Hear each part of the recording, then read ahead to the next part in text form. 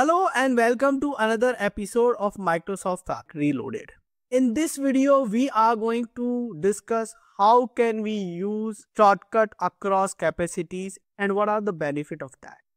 So let's just have the release note of an article which came some time back. We have not discussed when it came, but now let's quickly go through this article.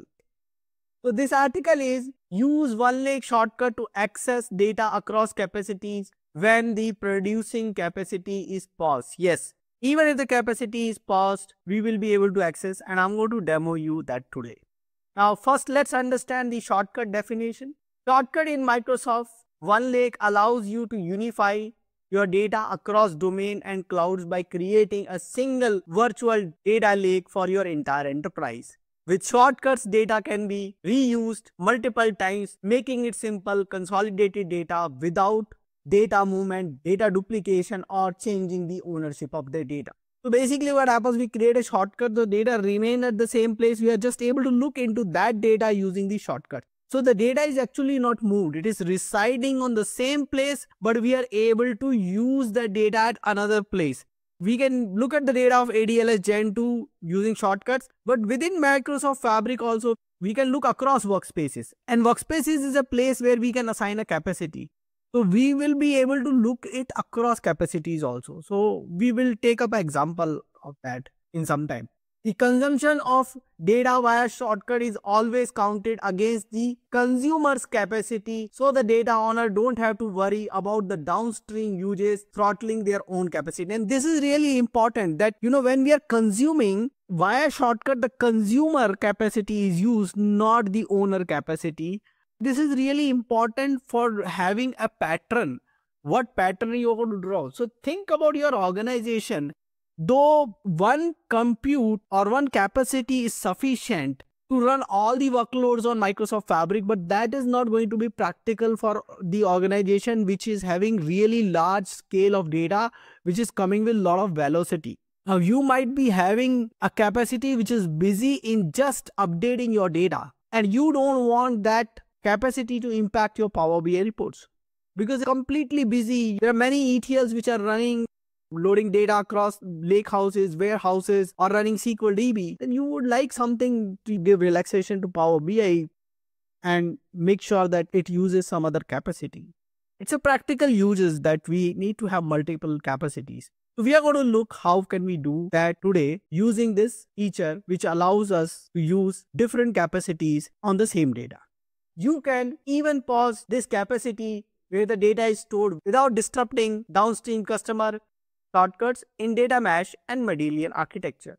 Cross-capacity shortcuts can appear in several architectural patterns. In data mesh pattern, data is managed and designed by domain experts versus a centralized IT team. Domain experts can then certify and promote items to the downstream consumption across the organization. With OneLake shortcuts, the same copy of data can be used in multiple domains across workspaces tied to the same or different capacity. So workspace can be tied to same or different work capacity.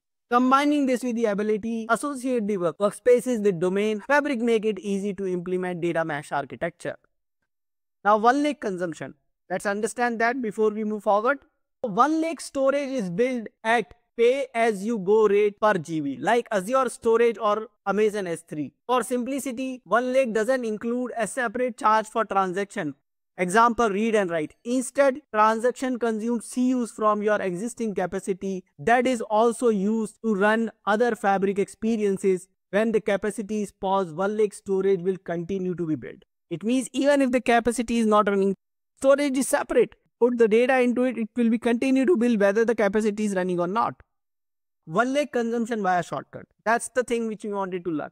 Returning to our medallion architecture example, let's say capacity 1 contains a workspace with bronze data in the lakehouse. The data is loaded daily into the lakehouse and the transactions are transformed using Spark Notebook. The request of the Spark makes OneLake build cap to capacity 1. Now let's say you want to pause the capacity 1 and build the reports of data built to separate capacity capacity 2. So reports on the capacity 2. To do this, you can create shortcuts in the lake house in workspace 2 tied to capacity 2. You can even create shortcuts after the capacity is paused using shortcut APIs. So if it is paused, then you need to use shortcut APIs. Now any request from Power BI reports or semantic model build of this data will be built on capacity 2. So what is happening here is, this is my data. I created a shortcut here in the second workspace. Or this workspace is using capacity 2 and so when I try to access the data in here in this workspace, you via shortcut or via the semantic model created on the shortcut, I'm actually consuming the capacity too. So now the time has come that we practically look into this example. To look into this example, I will jump onto the Microsoft Fabric and the experience which I am using is the Power BI experience, which is nothing but app.powerbi.com. Now in app.powerbi.com, the first workspace which I'm going to open and showcase you is 0025 Learn Fabric. So let me click on the workspaces and go to 0025 Learn Fabric workspace. And inside this workspace, I have a Lake 01. This Lake 01 has its own table and it is also having shortcut of some tables from the warehouse in the same workspace. Now you can see customer date, geo, item, sales, the common tables which I have. Other than that, I have copies of these tables because of some experiment I was doing. Now what I'm going to do is I'm going to create the shortcuts of these things into another workspace. But before I do, let me go back and showcase you what capacity it is using. If I click on the workspace setting on the right top inside this workspace, you can see inside the license info that this is using trial capacity. Now let's go to the other workspace. The other workspace I wanted to go is shortcut. So workspace is 0001 shortcut. Now let's look at which capacity this one is working. So right hand side top, workspace setting, license info. And as of now, this workspace is also working on the trial capacity. I have a paid capacity which I'm going to use on the 0025 but before that, I would like to, you know, establish everything and make sure that everything is running and then only I'm going to do that so that I can save running of my capacity. In this shortcut workspace, I already created a lakehouse shortcut. How to create a lakehouse? You can create it from new items. This lakehouse is right now empty. There is no table here. In the past, I do have done experiment and bought some tables. I have deleted those. What I'm going to do is I'm going to click on the ellipsis icon, three dots in front of tables and click on new shortcuts. So I want to create table shortcuts. From where I want to create these shortcuts? From the one lake only. Means data which is lying in fabric. From which workspace we want this? We want it from 25. So 00025 learn fabric, lake 01 is some which I need. So let me select this and click on next button below. Now I will be able to see all the tables now this include the tables and the shortcut which is already there. So customer, date, geo, item and sales. These are my common tables which I am using since long. You might be aware if you are watching my channel for long. Again, I selected my tables, click on next. I don't want to rename these. If needed, you can rename that. By clicking on this edit icon, you can rename the shortcut name. So let me click on create. Now tables will be added as a shortcut in this workspace. Let me refresh tables and you can see most of the tables are already in like two tables are pending. We refresh it once. All the tables are in. Now definitely i would like to check whether i got the data here or not. So let me click. This particular lake house doesn't have anything of its own. Whatever i am looking here is coming from 0025 lake 01 so let it load the preview of the data you can see the data here. It means the data is available. Now what I'm going to do is I'm going to quickly create a new semantic model and create a Power BI report on that. So let me click on new semantic model options available inside the Lakehouse Explorer itself. So new semantic model, give it a name, shortcut lake. Ideally speaking, the shortcut lake should always be created in a different workspace like I'm creating. I want all the tables so I can simply click on select all or DBO to get that. I don't have views, but I have only tables. So I got my customer, date, geo, item and sales. And then I need to click on confirm. So once I click on confirm, it will create my semantic model. And if there is no pop-up blocker, it should open a separate tab in which my semantic model should be open and I can create relationship and start using this semantic model in my reports. So let's wait for it to create the semantic model.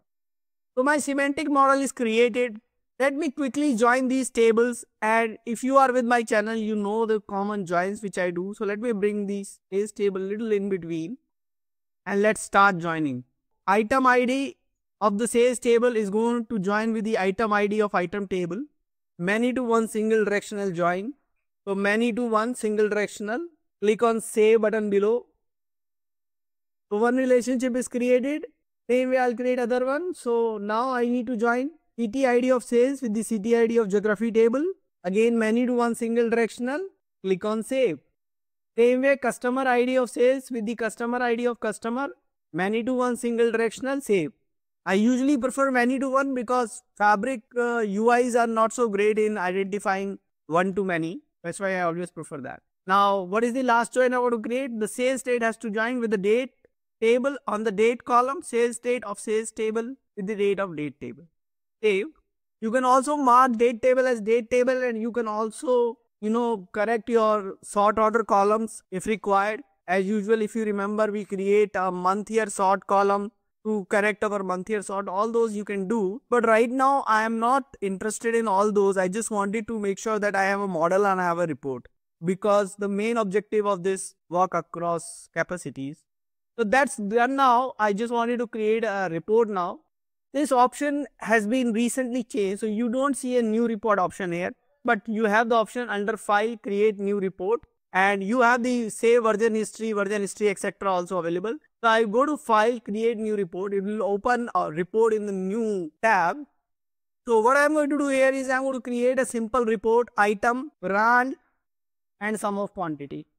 Fine. So this is my usual number 49,913 for sum of quantities.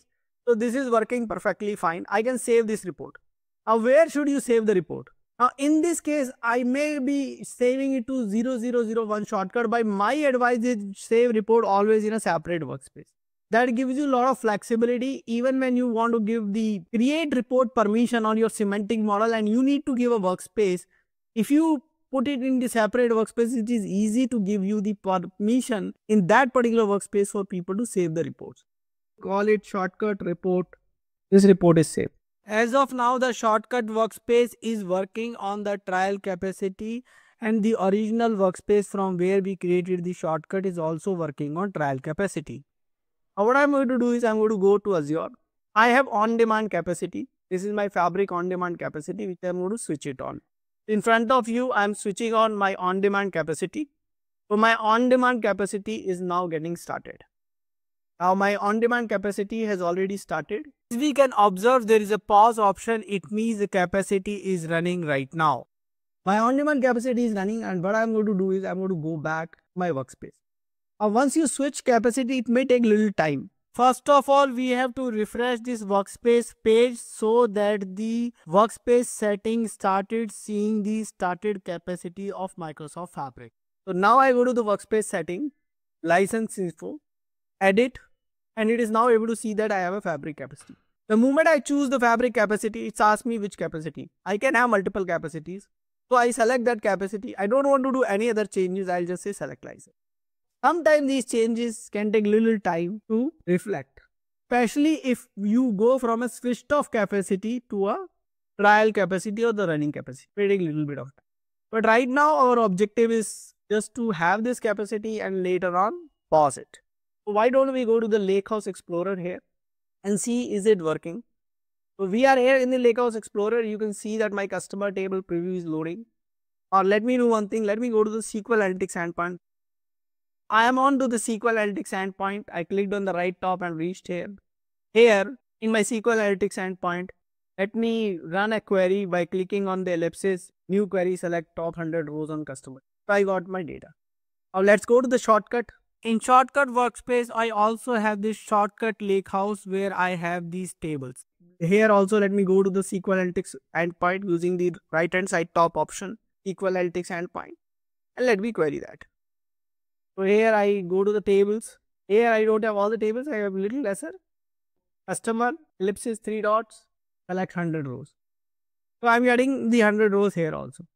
These two workspaces are on different capacity. And let me do one thing, let me open more tabs for that just to showcase you once before I stop this capacity, let case you where these capacities are there. If I go to the workspace 0001 shortcut and go to workspace setting, and go to licenses, you can see this is on the trial. Now let's go to the other workspace 00025 learn fabric. If I go to the workspace setting, license info, you can see this is on fabric capacity, the paid capacity, the on-demand capacity. So now let's go ahead to the Azure portal and pause this capacity. So I am pausing my capacity. Are you sure you want to pause? Yes, I want to pause. Once I pause it and if I want to go to any other workspace and change it, I'll not be able to use this capacity. But current workspace which is pointing to this will remain on that. So now let's go ahead and do one thing is let's refresh this 0 to 85. Look at the workspace settings, license info, and it is still pointing to that fabric capacity. Now let me try to open Lake 01. I am opening in the new window. I am not going to the older one. And you can see failed to load the lake house because capacity shut down. Now I already have little open windows. If you remember this lake 01 is open here. So why don't we query the table using this open window and the SQL Analytics endpoint. If we can run that. So let's run this and it is not able to fetch the data. So we are getting error. It means this is now pointing to the paid capacity, the capacity which is shut down. I am not able to query it. Now let's go to our shortcut. A shortcut here 001 shortcut. You created the shortcut for this one. This is on trial capacity. This was the one which was on the trial capacity. And let's see, is it able to run the query? So it is still able to see the data. See, this is all shortcuts.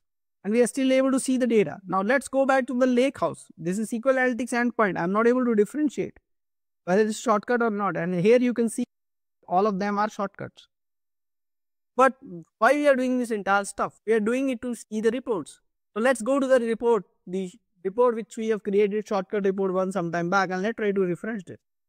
I am still able to see the data. Let me go to the edit mode and try to add few more new items. Let me create category wise item quantity. What's happening here? The place where the data is there, the capacity is shut down.